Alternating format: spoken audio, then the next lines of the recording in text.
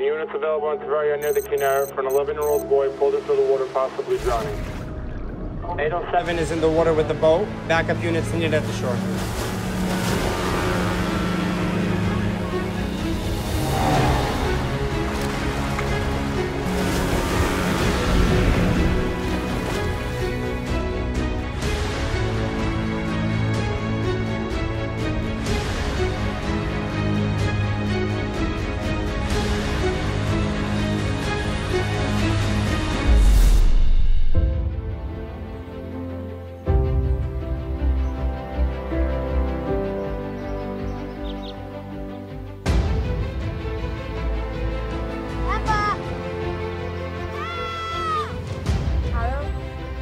Any volunteers available in Base across from the Noah 75 year old male, possible cardiac arrest.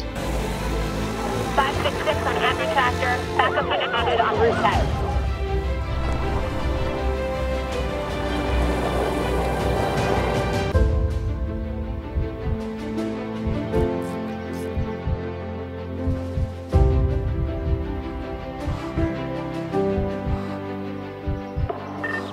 אנחנו בהחייאה במיקום של ההר גדה, וצריך לשלוח לנו נתן ולבן.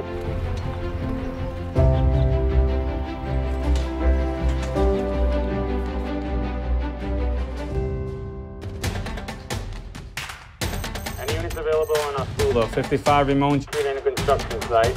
We've got an unconscious 25 year old man with a possible head trauma and in critical condition.